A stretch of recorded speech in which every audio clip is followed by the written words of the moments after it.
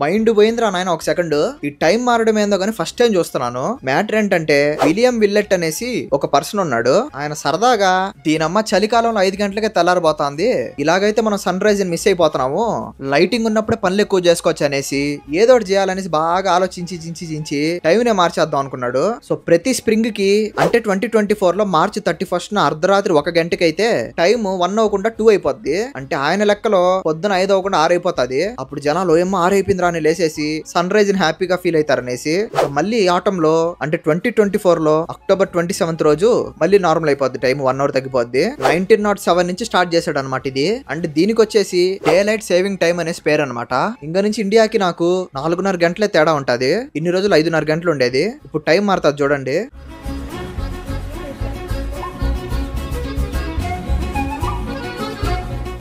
So అదనమాట సరే మరి తెలుస్తాను. బాయ్